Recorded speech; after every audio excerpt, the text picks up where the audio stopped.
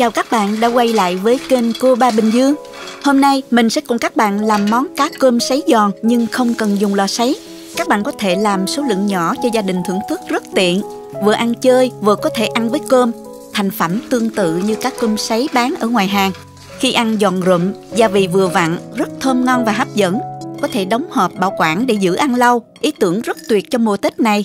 Cách làm và nguyên liệu gia vị đều đơn giản, chỉ cần vài điểm lưu ý là chắc chắn sẽ thành công.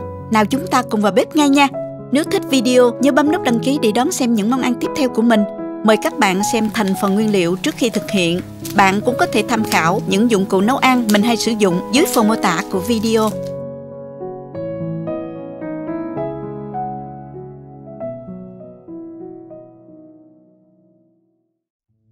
Muốn chiên cá giòn, các bạn phải chọn cá nhỏ như thế này.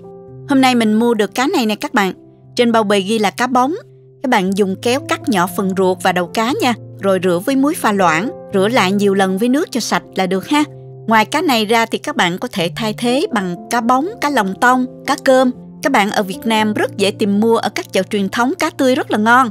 Bạn ở nước ngoài có thể tìm mua ở chợ Việt hoặc là chợ Hoa. Cá được giữ đông nhưng chế biến đúng cách cũng rất là ngon các bạn. Lưu ý là mình nên chọn cá không có trứng bên trong vì khi chiên trứng dễ bị bục và dễ bị cháy lắm nha. Cá có trứng rất là ngon, tuy nhiên sẽ thích hợp cho những món kho hơn nên các bạn nhớ lưu ý nha. Cá sau khi rửa sạch các bạn để thiệt là ráo nước ha, hoặc là dùng khăn giấy thấm khô nước nha. Bây giờ mình sẽ cho qua đây để ướp luôn nè. Với 500g cá đã làm sạch, mình sẽ cho vào đây hai muỗng cà phê nước mắm và một muỗng cà phê bột tỏi. Mình ướp sơ giúp cá thơm hơn nha. Chút nữa mình còn áo gia vị nữa nha các bạn. Trộn đều lên. Nếu không có bột tỏi thì các bạn có thể thay thế bằng 2 muỗng cà phê nước tỏi và 1 phần 3 muỗng cà phê muối nha. Như vậy cá sẽ không quá ướt khi chiên mất đi độ giòn đó các bạn. Trong khi chờ cho cá thấm gia vị thì mình sẽ xay nhuyễn tỏi này. Cho hết khoảng 40 g tỏi, mình cho vô cối nha các bạn. Xay nhuyễn. Các bạn có thể băm cũng được ha. Sau đó thì mình phi tỏi nha. Cho vào chảo 1 phần 3 chén dầu và mình cho tỏi vào. Ban đầu thì các bạn để lửa vừa ha. Khi tỏi săn lại, mình hạ lửa nhỏ và đảo đều cho đến khi tỏi chuyển vàng rồi mình tắt bếp nha. Và mình cho tỏi ra rây cho ráo dầu ha. Đừng có để tỏi quá vàng sẽ bị đắng nha các bạn. Tiếp theo thì pha sốt gồm có một muỗng canh nước mắm, một muỗng canh đường,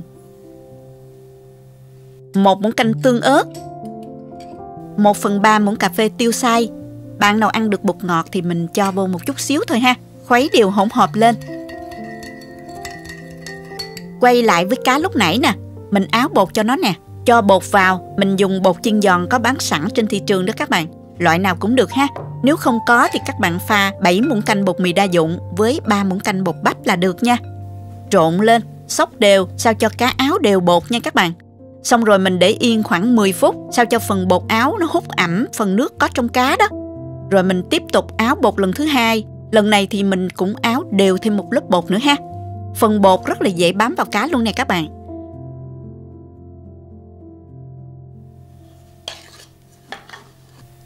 Xong rồi các bạn dùng rây hoặc là rổ có lỗ to một chút, mình rây cho cái phần bột thừa nó rớt xuống nha.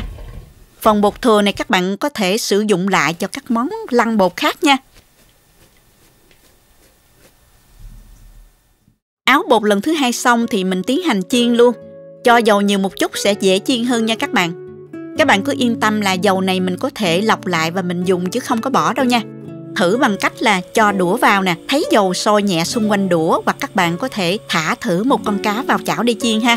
Như vậy là được nè các bạn, mình cho cá vào ha. Lượng cá cũng không quá nhiều cho một lần chiên nha. Lúc đầu thì mình đừng có đảo cá nha các bạn Nhớ là chờ cho cá săn lại khoảng 3 phút rồi các bạn đảo nhẹ cho cá đừng có bị dính vào nhau ha. Mình chiên với lửa vừa nha các bạn, cho dầu nó đủ nhiệt, như vậy cá sẽ vàng từ từ, không cháy háp. Nếu lửa quá nhỏ, cá dễ bị hút dầu, không giòn ngon đâu nha các bạn. Nãy giờ thì mình chiên được khoảng 9 phút rồi, con cá nó cứng lại như vậy nè, nhưng chưa có vàng đâu nha. Mình vớt ra rổ, chờ nó nguội và mình cho cái phần cá còn lại vào chiên tiếp nè. Lưu ý là quá trình chiên cá cũng rất là quan trọng. Tùy theo nhiệt độ bếp nhà bạn và con cá lớn hay nhỏ mà các bạn nhớ là điều chỉnh mức lửa cho phù hợp để cá đạt được độ giòn như ý nha. Bây giờ mẻ cá đầu tiên cũng đã nguội rồi, mình cho cá vào chiên lần thứ hai và mình cũng để ở mức lửa vừa nha các bạn. Đảo đều cá.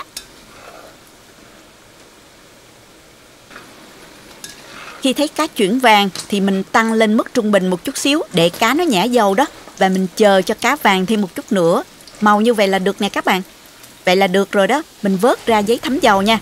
Thời gian chiên lần thứ hai thì khoảng từ 6 đến 7 phút nha. Khi cá ráo dầu xong thì các bạn cho cá thoáng ở bên mặt dưới để cá không bị hấp hơi, gây mềm cá nha.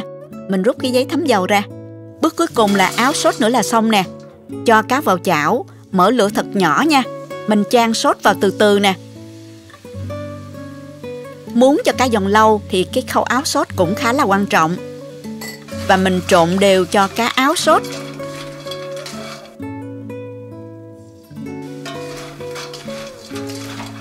Lúc này mình rắc tỏi phi và thêm ớt bột.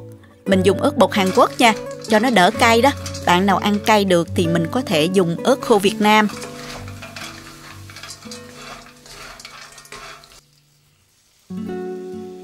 Và mình cho mè rang nữa cho thơm nè. Vừa cho thì các bạn vừa trộn cho đều ha.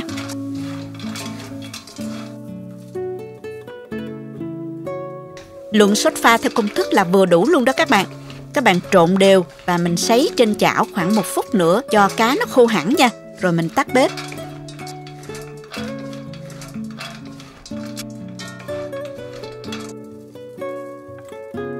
Sau đó các bạn vẫn trộn đều cho đến khi cá nguội dần. Mình cho cá ra trang trí thành phẩm và dùng nha. Giờ thì mình có thể tận hưởng món cá chiên giòn, vị mặn ngọt vừa phải, thơm thơm mùi tỏi phi, mè rang. Vị cay nhẹ rất dễ ăn, Đặc biệt là giòn rụm như bánh snack luôn đó các bạn Ăn là ghiền luôn đó nha Món này các bạn dùng để ăn chơi Rất là lạ miệng Nhâm nhi với chút bia rượu thì rất là bắt đó nha Ngoài ra các bạn có thể ăn kèm với xôi, với cơm Tùy theo sở thích các bạn nhé. Các bạn làm nhiều Mình cho vào hũ đựng đậy kín Để trong ngăn mát tủ lạnh ăn được rất là lâu. Vì làm thủ công không chất bảo quản Nên các bạn dùng được khoảng 3 tuần là an toàn nha. Rất tiện phải không nè? Chúc các bạn làm thành công với món cá chiên giòn hấp dẫn này nha. Nếu thích cách chia sẻ, cho mình một like, chia sẻ cho nhiều người cùng làm. Và các bạn nhớ đăng ký kênh, bấm vào biểu tượng cái chuông để xem nhiều video mới của mình.